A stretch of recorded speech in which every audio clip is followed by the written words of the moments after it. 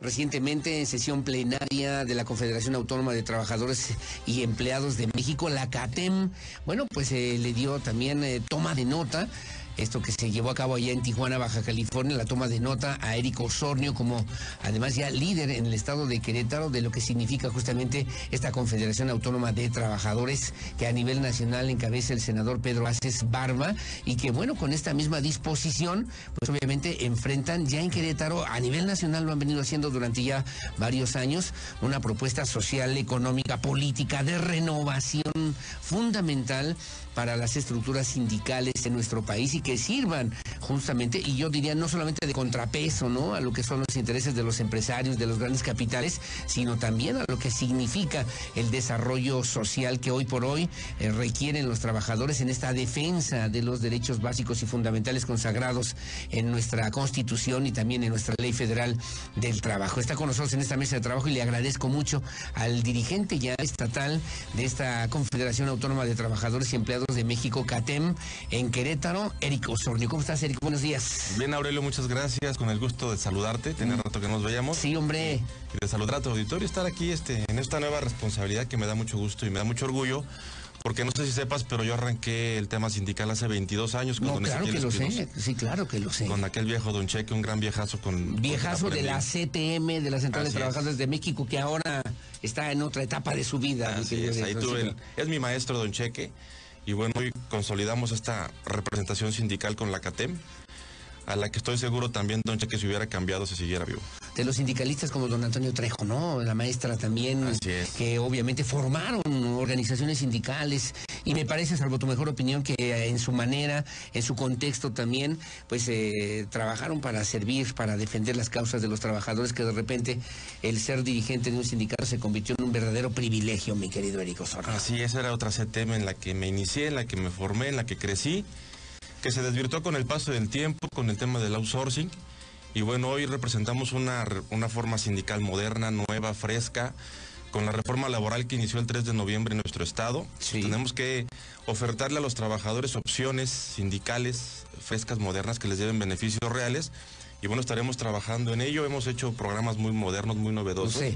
que realmente le ayuden al trabajador. Se acabaron aquellos líderes que viven de las cuotas sindicales, que hacen un contubernio con la empresa para tener un contratito ahí registrado, recibir una lana mensual y el trabajador no recibe nada, lo corren cuando hace algún movimiento. Sí. Y bueno, hoy la reforma laboral le da mucha fuerza al trabajador, en el voto libre, directo y secreto para elegir dirigentes y para votar sus contratos colectivos, y es lo que nos obliga a los sindicatos a ser modernos. En esta urgente necesidad de democratizar los sindicatos, ¿no? Estaban, pienso yo, salvo tu mejor opinión, mi querido Eric, tú conoces perfectamente bien esta, esta temática, a nada de desaparecer estos sindicatos blancos, estos sindicatos charros, estos sindicatos de dirigentes que se quedaron durante muchos años en estas, en estas eh, cúpulas del poder y que se convirtieron también en los mejores empresarios o en empresarios prominentes, por lo menos en el caso queretano hay casos particulares, mi querido Eric. Hay muchos, ¿eh? lamentablemente eh, yo empiezo a recorrer empresas y a ver trabajadores.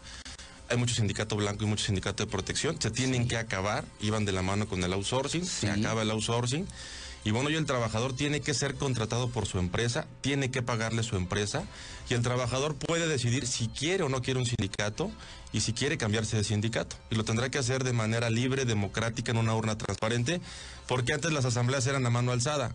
Y pues votaron en contra, pues lo corrían. Sí, inmediatamente detectaban quién era y hasta luego. Eso se acabó, es una gran fuerza. Es parte de las libertades de esta reforma laboral. Sí, la verdad es que sí, es muy buena. Tuve eh, el gusto de conocerla desde el Senado, cuando estuve ahí con Pedro Aces, de estar en todas las mesas de trabajo.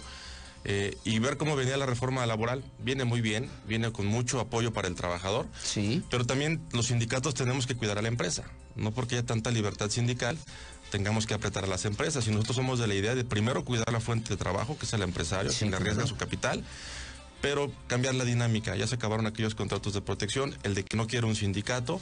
Y bueno, el sindicato le sirve incluso a la empresa para la conciliación, porque también desaparecen los, eh, las juntas de conciliación y arbitraje. Así tenemos tribunales laborales Así que piden una etapa de conciliación. Entonces, pues si no hay sindicato, ¿con quién vas a conciliar?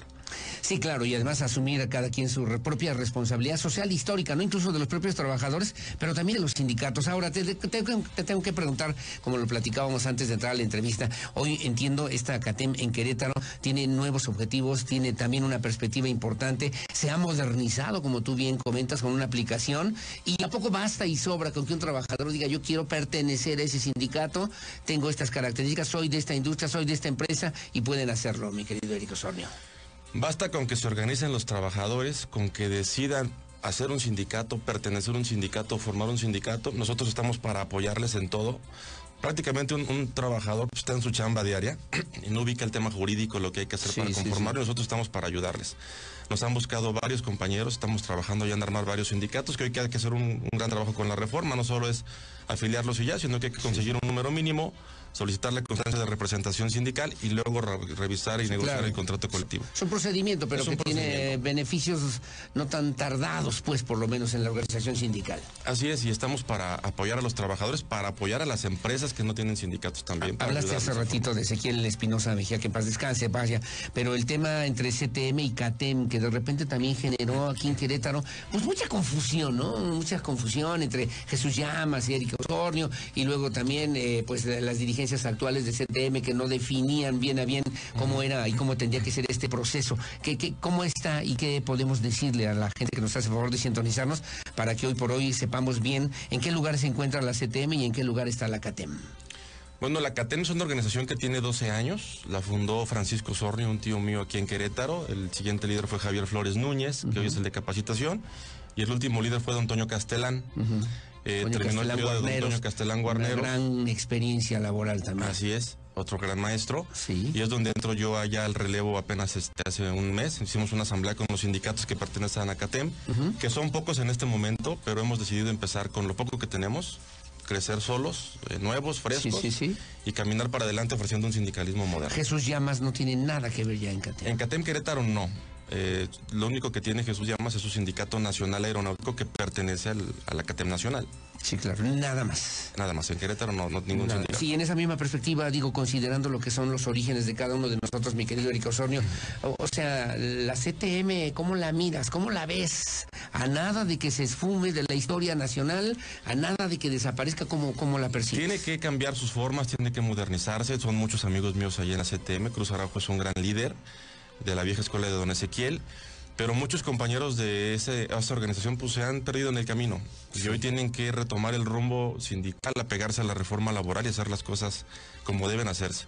Si no, la CTM creo que tiene, está condenada pues a, perder este Aguascalientes lo ganamos sin mayor esfuerzo ¿eh? y hemos ganado eh, espacios en empresas nacionales Tlaxcala en muchos lugares donde empezamos a, hacer un recuento y hemos ganado sin mayor problema porque la CTM no los ha atendido.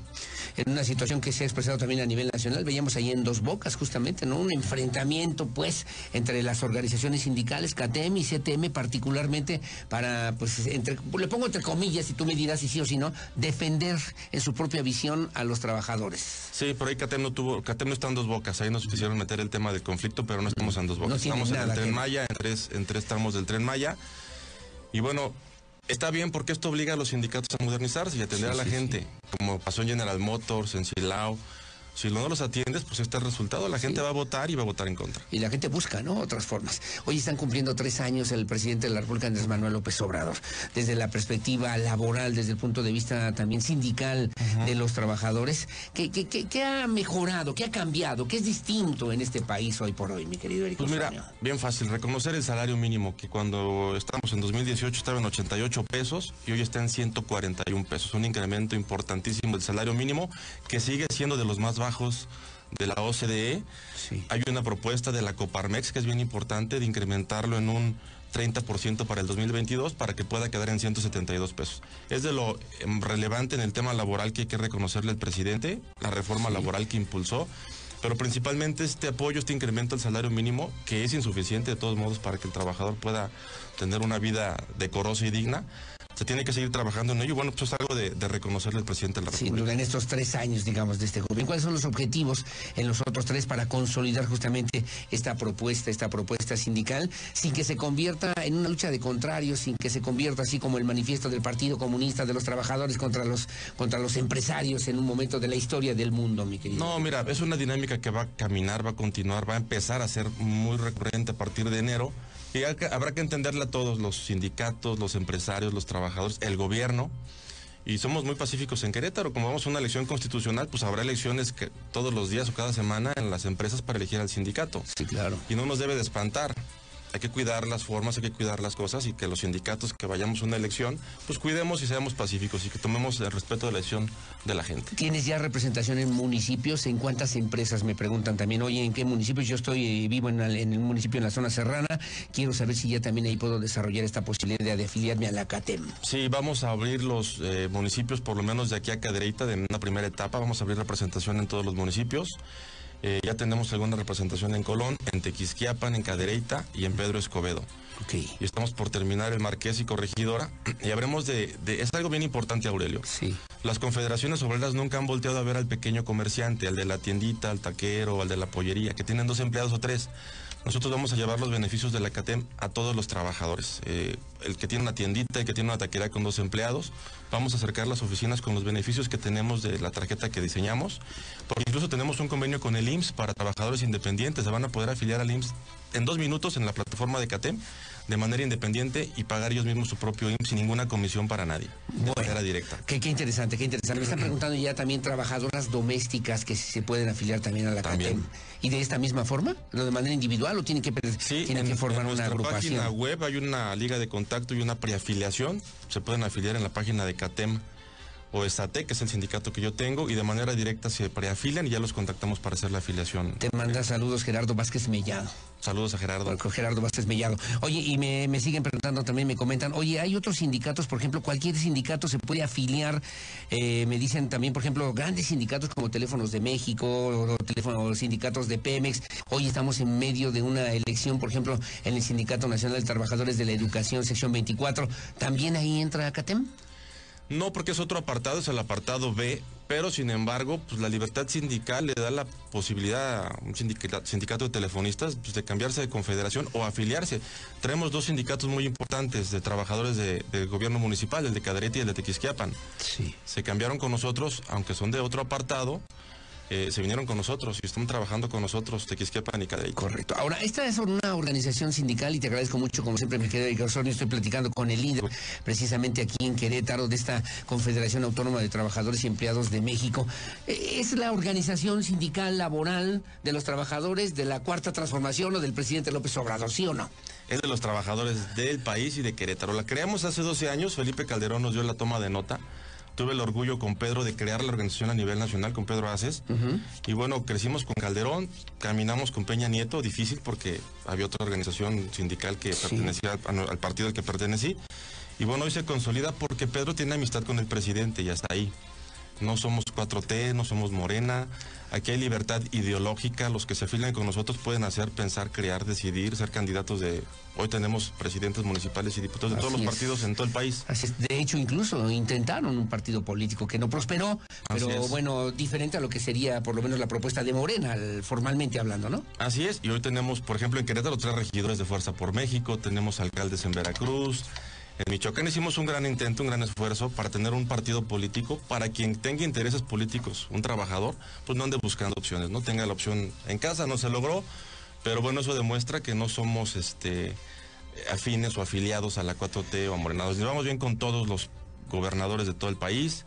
Aquí con Mauricio hay una gran relación, la, habremos de fortalecer y trabajar de la mano con él, como lo hicimos con Diego Sinue en Guanajuato. Ah, sí lo sé. Y con Alejandro Morada en Oaxaca. Entonces, este, estamos bien con todos. Una nueva dinámica, por Así una nueva relación. Finalmente te tengo que preguntar cuando son las 7.59 de la mañana, preguntarte solamente sobre esta misma perspectiva. Me están diciendo, oye, hay una aplicación, ¿no? Que también has dado a conocer. Si podemos dar algún detalle, cómo está, cómo se consigue, cómo se puede tener más información de lo que significa, eh, de lo que pueden hacer a través de esta conferencia Federación Autónoma de Trabajadores y Empleados de México. Gracias, Aurelio. Hablando de sindicalismo moderno, pues hicimos una aplicación. Los trabajadores que se afilan a sindicatos de CATEM, con esta aplicación tienen Teléfono gratis para hablar a cualquier parte del mundo. Les ahorramos ya las recargas de, de 30 pesos que cargan los trabajadores.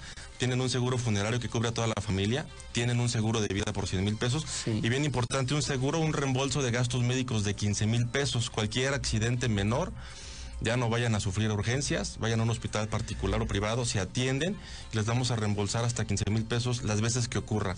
Entre muchos beneficios más como un seguro para el hogar, para un cerrajero, un plomero, un electricista, cambio de vidrios, médico las 24 horas en el teléfono, abogado, ambulancia a, domicilio por emergencia, Ahí está, ahí está en la aplicación para que la gente también lo pueda conocer. ¿Cómo se entra, cómo se llega a esta aplicación? Bienestar Familiar Catem. Bienestarfamiliarcatem.com. Oye, me, preguntan también y creo que es un tema, es un tema, es un tema interesante, es un tema importante y solamente con ello también referir hoy por hoy cuál sería la, propuesta, la personalidad de CATEM para decir esto es lo que ahora pedimos, exigimos en los sindicatos para los trabajadores, también para que lo entiendan, me dicen porque pareciera de repente que los empresarios le tenemos miedo a los sindicatos.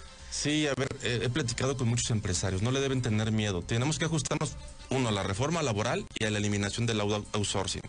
Entonces los empresarios tienen que empezar a hacer las cosas como deben ser. Muchos años funcionó así, ya no va a funcionar así. Yo estuve en esas mesas de trabajo donde estuvo en su momento la WIF, el IMSS, la Secretaría del Trabajo, y el tema del outsourcing va enfocado a eso, a generar, a generar que el trabajador cobre la empresa que lo contrató. Es principalmente el tema ese es El, objetivo. Ese es que tenga seguridad social, que tenga IMSS, que muchos no lo tienen. Encontrábamos empresas con 100 trabajadores, de los cuales tenían registrados 5 o 4. O te ponen una categoría diferente en el IMSS. O les pagaba otra empresa de otra cosa. O no te pagaban eh, prestaciones, ¿no? Se acabó. Hoy lo podemos hacer de manera tranquila, pacífica, con un sindicato amigo. Yo, me, yo lo he dicho, somos cómplices de la productividad. Así que nos ven los empresarios en Querétaro. Somos cómplices de la productividad. ¿Que para qué queremos un sindicato? ¿Que para qué queremos una organización sindical sin Querétaro no hay huelgas? Pues no, no ha habido y afortunadamente no ha habido y qué bueno que no haya. Pero si hay trabajadores... 15 años sin huelgas, ah, nacionales por lo menos. Muy sí, así es. Porque hay grandes empresas que tienen sindicatos buenos, que hacen buenos acuerdos y buenas conciliaciones, pero hay muchos, muchos, muchos trabajadores que no tienen un sindicato, que no les pagan horas extras, que los hacen trabajar los domingos, eh, que no tienen baños dignos, que no tienen lockers, cosas como esas, que no, hay, lugar donde comer. no hay un lugar donde comer y esos no hay quien los defienda. Y no hay huelgas, pues porque no hay quien los oriente y quien los Oye, otro día te invito para hablar de la norma 035, ¿te late? Sí, porque además el estrés laboral y todo, esto que puede significar, tú eres abogado. Sí. Abogado y conoces perfectamente bien este tipo de situaciones que obviamente tienen que ver con el desarrollo, el desarrollo personal, ¿no? De, de los seres humanos, de las familias y al mismo tiempo y de manera paralela lo que se va configurando, se va conformando también con lo que son las nuevas organizaciones sindicales, mi querido Diego Sornio. Que si tienes algún número telefónico para que se contacten contigo. Sí, mi celular 40 4421 190067. Repito, 4421 190067.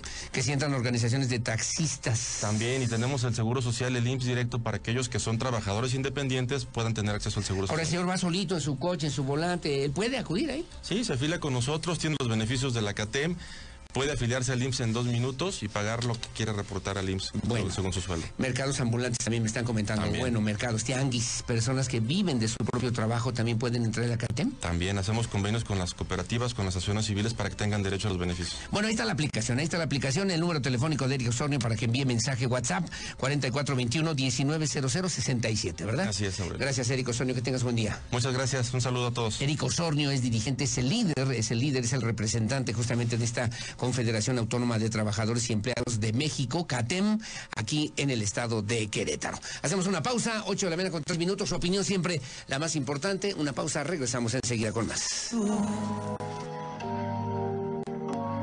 Termina otro año. Si el nuevo empieza ya